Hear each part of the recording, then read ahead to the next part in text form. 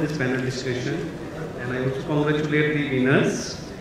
Uh, uh, this uh, healthcare of tomorrow. Uh, back, uh, so reimaging, why we are reimaging?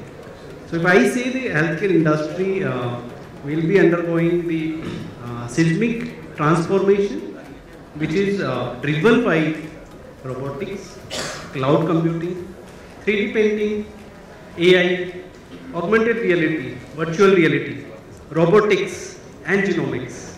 So these are the new drivers of future healthcare.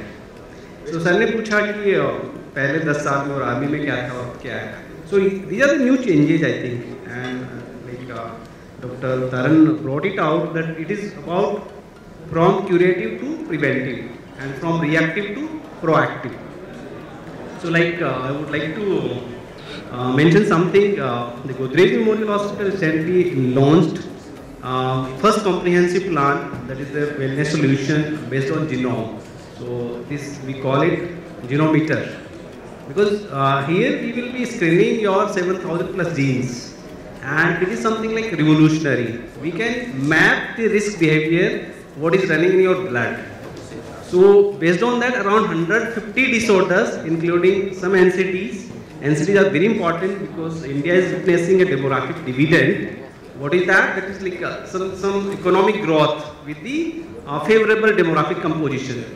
But it comes with a cost. Like 1 in 10 above 18 years are having high glucose level.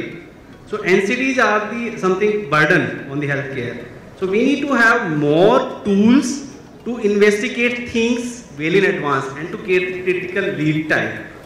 So it is about healthcare experience uh, for uh, both the uh, like patient and clinicians. If they can get something innovative, some cutting edge technologies, and something like uh, which can give the delightful experience and which can make operational clinical outflow mechanisms more smooth and affordable.